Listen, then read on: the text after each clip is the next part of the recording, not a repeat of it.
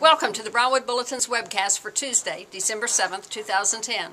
I'm Candace Cooksey Fulton, staff writer and columnist for the Bulletin, and here are some of the top stories we'll have in our Tuesday paper.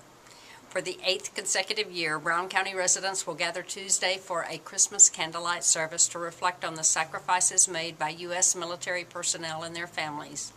A special emphasis will be made on local servicemen and women who are serving at home and overseas.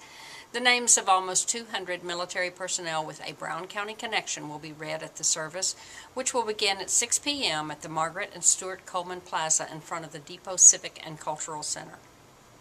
Also in our Tuesday paper, we'll begin a series of Spirit of Christmas stories.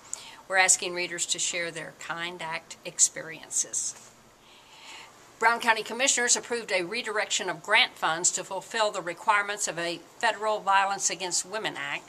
Keith Madole, who's directed the task force since last spring, has had to resign because of health issues. Brownwood Regional Medical Center Infection Control and Employee Health Director Shannon Young Dela Cruz has been appointed to the Texas Society of Infection Control and Prevention Board. The Brownwood Lions offense could be faced with an interesting dilemma during Friday night's Division II 3A state semifinal showdown against the Carthage Bulldogs. The Bulldogs have beat some impressive teams and are two-time defending state champs, but their defense has struggled mightily against the running game in their two losses. Read Derek Stuckley's story on our Tuesday Sports page.